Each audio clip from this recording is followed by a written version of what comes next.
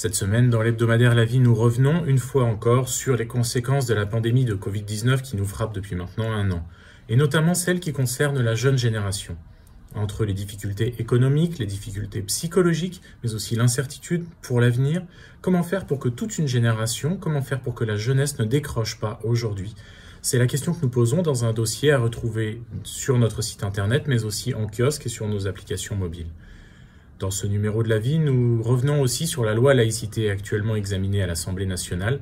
Pour cela, nous sommes allés à la rencontre du pasteur François Claveroli et nous l'avons interrogé en particulier sur les conséquences de cette loi pour les cultes en France. Tout cela est à retrouver cette semaine dans la vie. La charte des principes pour l'islam de France divise les musulmans, c'est un fait. Le texte a vu le jour le 17 janvier. Il a pour objectif, je cite son préambule, euh, de tracer les valeurs à transmettre aux fidèles et de les partager avec eux dans le respect des lois de la République et de l'éthique islamique. Pourquoi ce texte ne fait-il pas l'unanimité? Manque de concertation?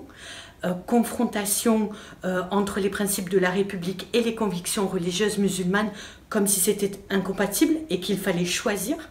Réforme est allée à la rencontre d'une pluralité d'acteurs du monde musulman français pour leur donner la parole, comprendre les enjeux, comprendre leurs raisons, comprendre leurs attentes.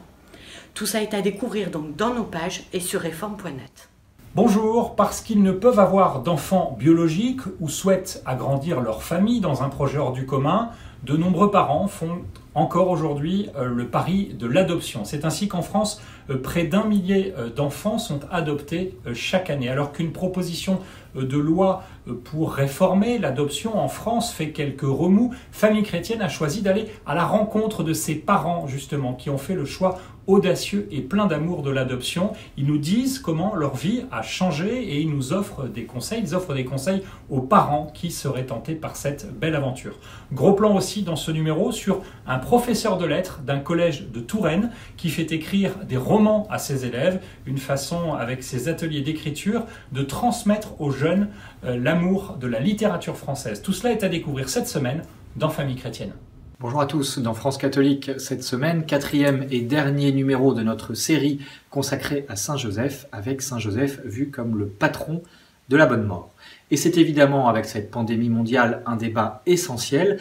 Nous avons notamment interrogé Marie de Henzel, qui a consacré sa vie à l'accompagnement des mourants et qui nous dit combien cette pandémie est l'occasion justement du grand retour de l'invisible. Et puis nous sommes allés recueillir le témoignage des petites sœurs des pauvres, un témoignage magnifique de ces religieuses qui accompagnent les personnes en fin de vie et qui se voient comme des passeurs d'âme, c'est-à-dire que par la prière et par les soins apportés aux mourants, eh bien elles transmettent et passent l'âme de ces mourants à Dieu. C'est magnifique et à lire dans nos colonnes. Et puis dans un tout autre domaine, nous avons interrogé Jean-Marie Roire, qui est académicien et qui s'inquiète du vide spirituel laissé dans notre société face notamment à l'islamisme et qui en appelle à l'Église pour qu'elle retrouve toute sa place dans cette société, notamment par l'art, par le beau, ainsi que par la liturgie. Tout cela, c'est à retrouver dans les colonnes de France catholique, également sur notre site internet. Nous sommes confrontés depuis plusieurs jours à des sommets d'incertitude face euh, à ce virus qui ne cesse de nous dérouter. Prolifération des variants, rupture, dans l'approvisionnement des vaccins, exécutif hésitant. Comment tenir dans cet hiver encore plus dur qu'annoncé? Eh bien, aux pèlerins, nous croyons plus que jamais aux paroles, aux mots, aux gestes qui nourrissent l'espérance dans nos vies entravées par le Covid.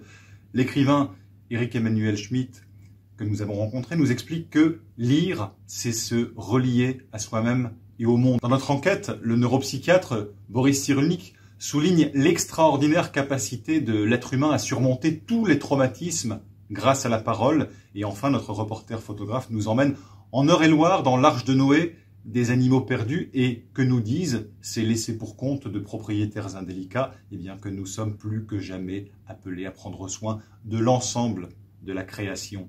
Les mots face à l'épreuve, c'est dans le pèlerin.